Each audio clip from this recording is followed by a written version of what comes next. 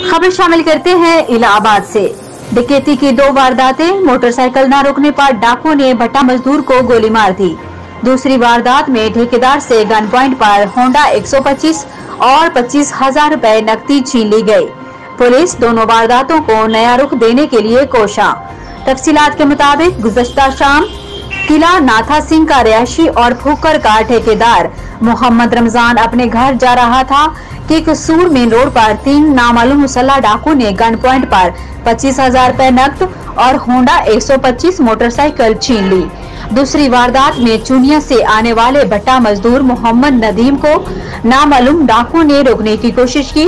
Motorcycle न रोकने पर पीछे से फायरिंग करके शदीद जख्मी कर दिया। नदीम जनरल अस्पताल लाहौर में दाखिल है।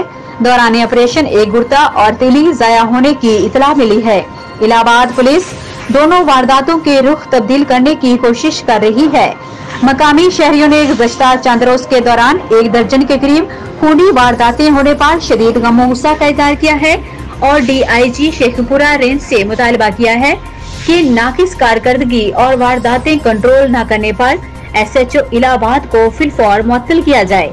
और जिम्मेदार पुलिस ऑफिसर को तैनात किया जाए। Report Ali Haidar 27 news Raj